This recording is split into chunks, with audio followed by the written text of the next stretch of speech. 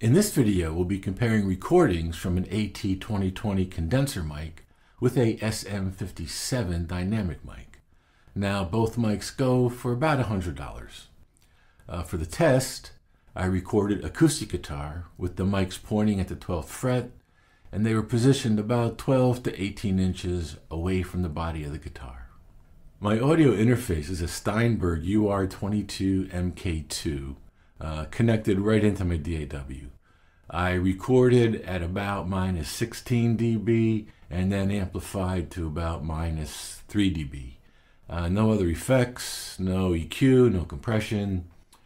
So you're essentially hearing what the mics recorded. I recorded a strumming pattern and two picking patterns on each microphone. Uh, for one of the picking patterns, I was capoed up on the fourth fret.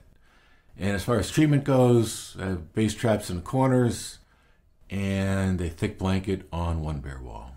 Now, you may want to listen with headphones because audio out of your laptop, PC, or iPhone uh, may not be adequate for really hearing the differences.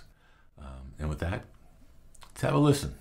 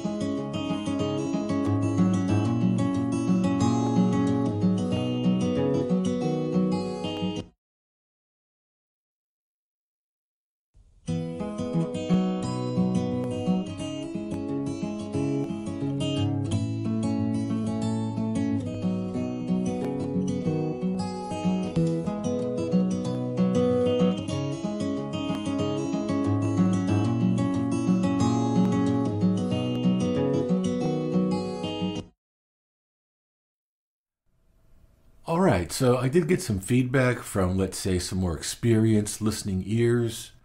Uh, some folks thought the AT2020 sounded a bit cleaner. Others thought the SM57 sounded a bit fuller. One person preferred the AT2020, another person preferred the SM57. Um, and that's how these things usually go, right? It's kind of up to your own listening ears. Uh, personally, I was kind of leaning towards the SM57. So please comment, like, subscribe, and check out the links below. Uh, you'll find additional videos about recording with one microphone, um, there's also a link to a tip about using dynamic mics. And just for fun, I put a link to a tutorial where you can learn how to play that blues turnaround. Um, and with that, we'll see you next time.